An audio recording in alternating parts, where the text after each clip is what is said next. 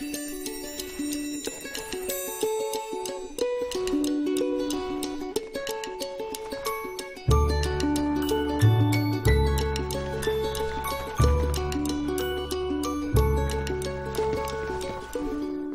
einer allein nicht schafft, das schaffen viele. Das ist der Kern unserer genossenschaftlichen Idee. Ganz einfach. Und ganz logisch. Und deswegen sind allein in Deutschland 20 Millionen Menschen Mitglied einer Genossenschaft. Bei den Genossenschaftsbanken sind es mittlerweile über 18 Millionen. In Europa sind es 140 Millionen. Und weltweit sind sogar 800 Millionen Menschen von der genossenschaftlichen Idee überzeugt. Kein Wunder. Genossenschaften sind für alle ein Gewinn. Wir sind keine Aktiengesellschaft, für die der Profit alles ist. Wir Genossenschaften sind nur unseren Mitgliedern verpflichtet. Und nur unsere Mitglieder bestimmen, wo es lang geht. Jeder mit einer Stimme. Ganz demokratisch.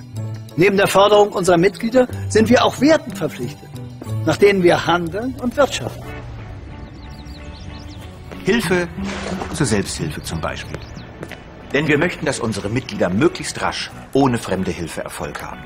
Außerdem sind wir subsidiär. Subsidie. Was? Subsidiär.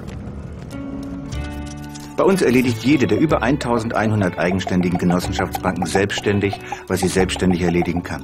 Wo es für unsere Mitglieder und Kunden Vorteile bringt, kooperieren wir. Dazu haben wir für spezielle Aufgaben Partnerunternehmen gegründet. Die Partner in der genossenschaftlichen Finanzgruppe Volksbanken Raiffeisenbanken finden die besten Angebote und Leistungen für unsere Mitglieder und Kunden. Durch unsere regionale Verwurzelung sind wir zudem ganz nah dran an den Menschen. Denn auch wir Genossenschaften leben und arbeiten in der Region. Dort bilden wir junge Menschen aus, schaffen und erhalten Arbeitsplätze und zahlen Steuern. Was man wahrlich nicht von allen Firmen sagen kann. Wir sind in aller Bescheidenheit die Ersten, die global denken und lokal handeln praktiziert haben. Auch andersherum. Lokal denken, global handeln. Eine echte globale Idee also, die genossenschaftliche Idee. Kann man so sagen. Und wo kommt sie her, die Idee? Zurück zu den Wurzeln. Willkommen bei den Volksbanken und Raiffeisenbanken. Herr Schulze-Delitzsch? Herr Raiffeisen? Ihre Idee ist nur ein bisschen gewachsen.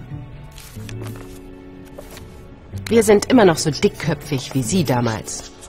Wir verzichten immer noch auf staatliche Hilfen, rennen keinen Börsentrends hinterher, sondern fragen uns immer wieder aufs Neue, was brauchen die Menschen? Und deshalb hören wir ihnen ganz genau zu und sprechen mit ihnen auf Augenhöhe, als Partner. So finden wir gemeinsam die optimale Lösung in allen Regionen. Für unsere Kunden und vor allem für unsere Mitglieder. Für Sie und uns alle gilt weiterhin. Lassen Sie uns raten. Was einer alleine nicht schafft, Das schaffen viele.